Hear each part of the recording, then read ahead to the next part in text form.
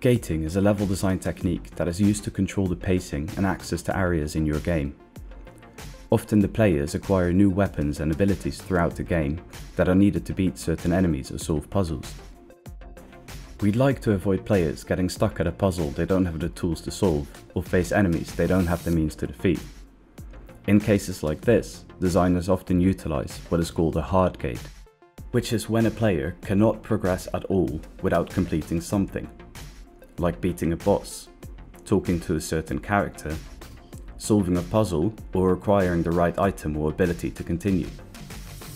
Like in The Legend of Zelda Skyward Sword for example, where you need to obtain the Gust Bellows before being able to clear specific blocked doors and advance through the dungeon. Needing specific utility items, or the more common key, to open a locked door are common tropes in action-adventure games and RPGs. Another common use of a hard gate is in the form of a skill gate. In Super Meat Boy for example, the player is faced with a high wall, and the only way to move forward is to wall jump to the top. This way, as a designer, you know for absolutely certain that from now on, the player knows what the wall jump is and how to use it in future more complex situations. When you want to slow the player down, you can employ a soft gate. These are actions like the player or an NPC slowly opening up a doorway, waiting for other scripted events to play out, or slowing down the player movement speed on the way to the next objective.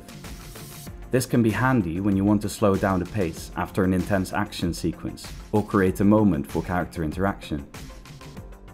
In situations where we want to prevent backtracking, we can make use of a one-way gate, which allows the player to move forwards but not backwards to where they came from. This can be a literal gate that locks the player in a type of arena to face off against a boss enemy, a zip line, or part of the level that crumbles behind the player. In level design, we often want to use one-way gates to have more control over trigger placements, to protect spawn areas in multiplayer levels, or for optimization reasons, allowing us to unload previous level segments. When you make clever use of hard gates, soft gates and one-way gates in your levels, you can more deliberately craft your player experiences, improve the pacing and create challenging progression. Thank you so much for watching and see you in the next video.